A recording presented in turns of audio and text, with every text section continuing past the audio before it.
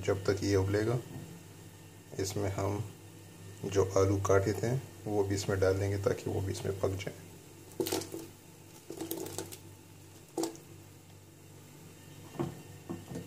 ये देखिएगा। ये इसका कलर भी बहुत अच्छा हो गया है। जो प्याज हमने इसमें ब्राउन किए थे, उसका ख़ुद का कलर आ गया है। अगर आप मसाला भी ऐड करेंगे ज़्यादा तो वो फिर और भी ज़्यादा कलर ज़्यादा हो जाएगा। तो मसाला हम थोड़ी सी इसमें डालेंगे।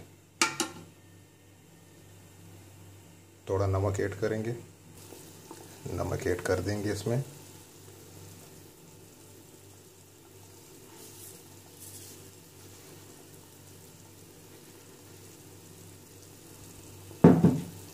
हमने नमक ऐड कर दिया इसमें। थोड़ा सा मिलाएँ।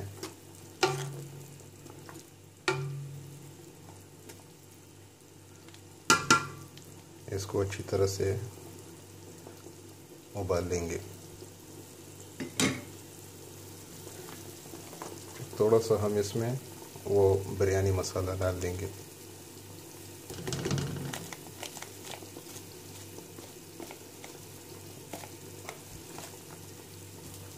अगर आप चाहें तो ज़्यादा भी कर सकते हैं। मैंने अंदाजे से डाल दिया। तकरीबन वन स्पून अब हम इसमें हमने थोड़ा इसमें चिकन भी ऐड कर दिया थोड़ा गोश्त भी ऐड कर दिया। और इसको अच्छी तरह से आ, इसमें उबाल लेंगे ताकि ये चिकन इसमें अपना जायका छोड़ दें।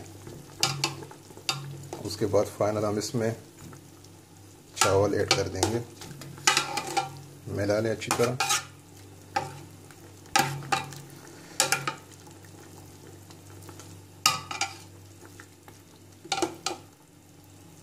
अच्छा फाइनली हमने इसमें चावल भी अपना डाल दिए और इसको हम तब तक छोड़ेंगे, तब तक ये पानी इसमें सूख ना जाए।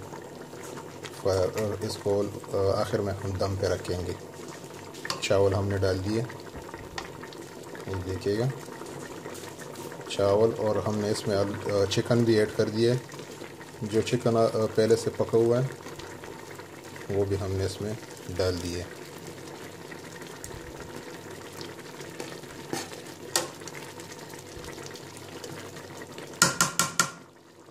खुशबू इसकी बहुत ही अच्छी है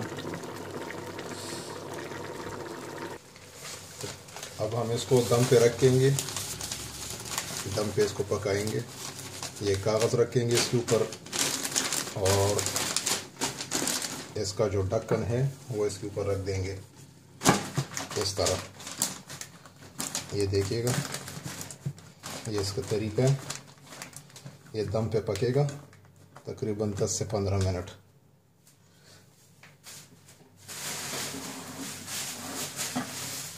और इसके ऊपर हम एक हेवी चीज़ रखेंगे ताकि इसका ढक्कन से गैस ना निकले।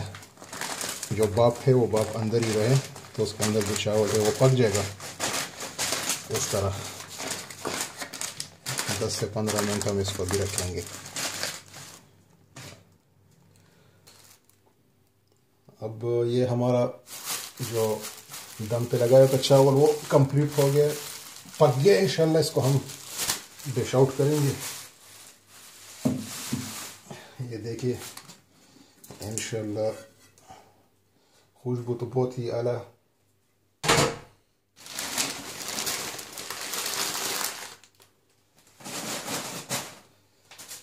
ये देखिएगा पक गया इंशाल्लाह।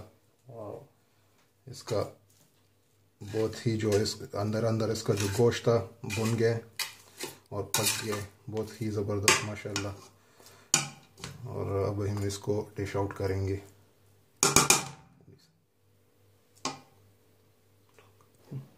अब हम इसको डिश आउट करेंगे। ये देखिएगा। बहुत ही ज़बरदस्त इसका कलर भी है और खुशबू भी आ रही है। बिस्मिल्लाह।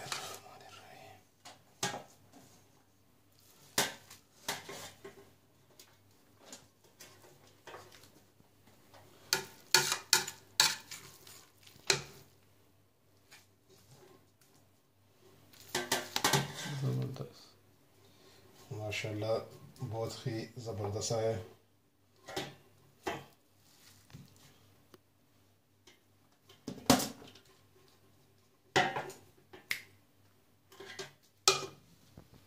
ये अभी हमने डिश आउट कर दिया है और बहुत ही इसका ज़बरदस्त कलर आया और आप इन ट्राई कीजिएगा घर में बनाएँ, बहुत ही अच्छा आता है।